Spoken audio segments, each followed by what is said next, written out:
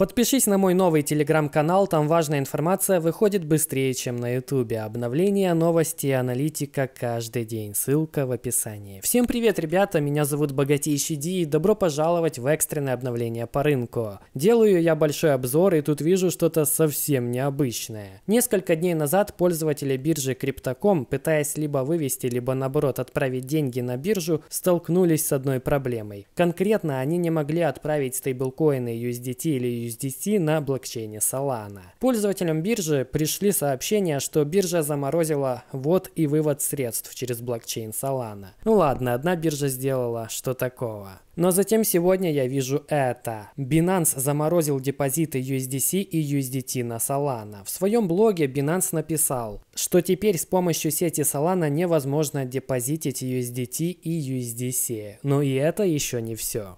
К примеру, биржа OKEX сегодня пошла еще дальше и вовсе удалила сеть Solana. Она делистнула токены USDC и USDT на Solana. В своем блоге биржа сообщила, что больше не будет поддерживать депозиты и выводы этих токенов через сеть Solana. Дальше еще интереснее.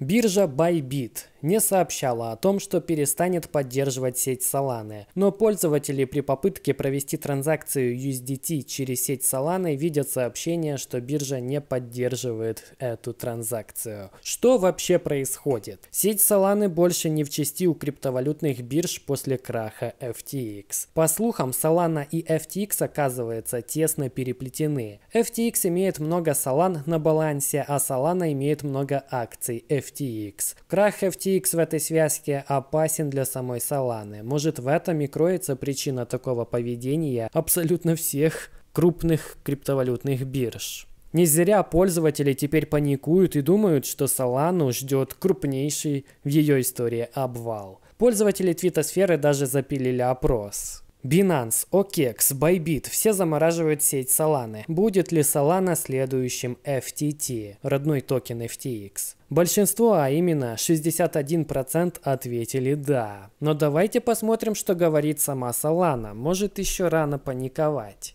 Ведь такие подозрения не могут оставаться без ответа. И на самом деле там не все так плохо, если верить самой Солане. Я бы сказал, что панику пока разводить рано. Итак, пройдемся по основным моментам, которые интересуют сообщество. В своем блоге Solana пишет, крах FTX не повлиял на производительность и безотказность работы сети Solana.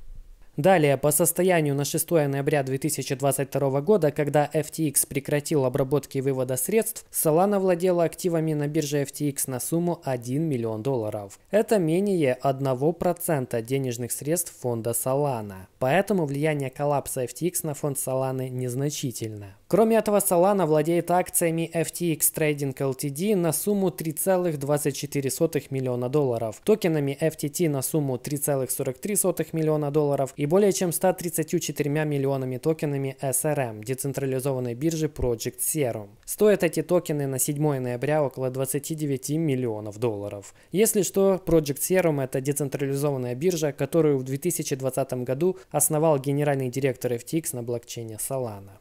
Также Solana сообщает, что FTX и Alameda Research, дочерняя компания FTX, приобрели у Solana фонд 50,5 миллионов монет Solana, примерно 700 миллионов долларов на данный момент. Но не стоит паниковать, что FTX прямо сейчас возьмет и продаст все эти 50 миллионов монет. Дело в том, что значительная часть этих монет заблокирована и ограничена доступна для ежемесячной реализации, график которой расписан до 2028 года. Также Alameda Research приобрела у Solana Labs 7,5 миллионов монет Solana. И как мы видим, доступны для продажи они будут 1 марта 2025 года. До тех пор Alameda Research никак не сможет реализовать эти монеты. Кроме этого, сооснователь Solana утверждает, что криптовалюта незначительно пострадала от краха FTX и толком не имеет никаких активов на ftx.com. При этом децентрализованная биржа Serum Project также находится в безопасности,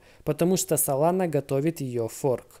Приватный ключ соединял FTX и этот DEX, поэтому после форка эта связь будет разорвана и биржа продолжит работу в обычном ключе. Так что, похоже, люди зря паникуют, если верить самой Солане. А что ты думаешь по этому поводу? Напиши в комментариях. Ну а я пойду записывать свой обычный обзор и увидимся сегодня вечером.